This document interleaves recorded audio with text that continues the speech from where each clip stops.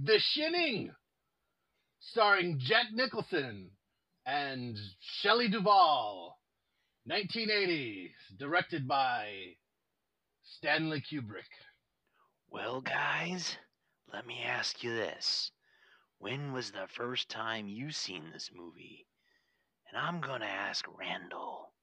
Buddy, what do you think? The first time, I I don't even remember because this is one of a, a handful of movies that would get watched yearly in my house. So I grew up on The Shining, so I do not remember the first time I watched it, but I have seen it so many times. So, so how much does it? What was the hourly rate uh, for your psychiatrist?